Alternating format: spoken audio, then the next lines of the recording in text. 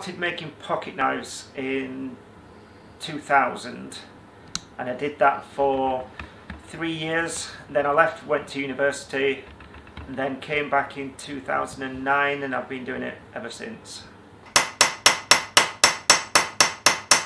I, I didn't intend to get into this, um, I, just sort of stumbled across it and uh, after university I realised I really enjoyed making knives so I went back to it and then in 2016 I decided to set up my own business.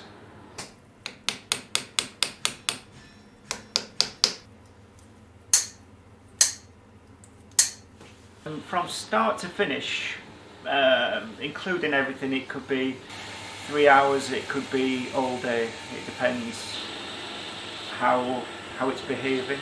Sometimes it can be very simple, just straightforward. Sometimes um, it can be a bit trickier and take a bit longer. The liners are brass,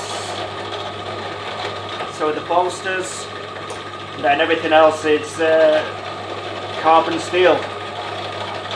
I do kitchen knives, um, I do bowie knives, um, I get asked to do all sorts, anything with an edge basically uh, I'll, I'll have a go at, but uh, it's mainly pocket knives.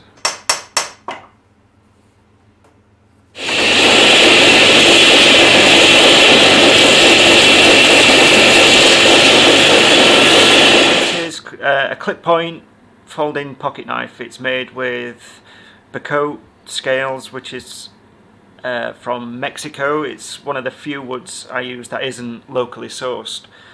I try and get everything from Yorkshire, but uh, I love the grain on this, so this is why I use Bocote. And this is a Damascus clip point blade, which is hand forged here at Portland Works.